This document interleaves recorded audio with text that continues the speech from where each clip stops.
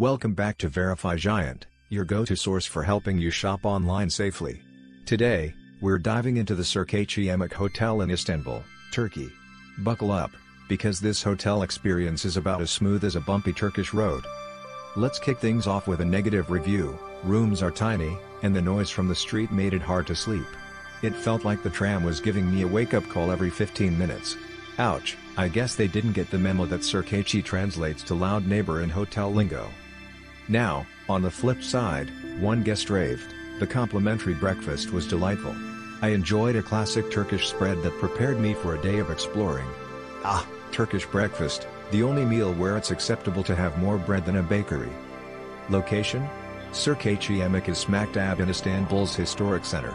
Score, 7 out of 10. You're a short stroll from Gülhane Park and the Egyptian Bazaar. But if you're looking for a view, the roof terrace is a small consolation prize overlooking the Bosphorus Strait, think of it as a romantic dinner with the city, minus the actual romance. Room quality gets a 4 out of 10. They're cozy, which is code for small enough to play hide and seek but still lose. Facilities? It's a mixed bag. Wi-Fi gets a solid 8 out of 10, but the 24-hour front desk?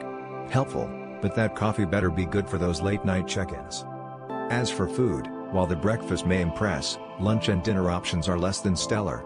I'd rate it a 5 out of 10. Maybe save your appetite for street food outside?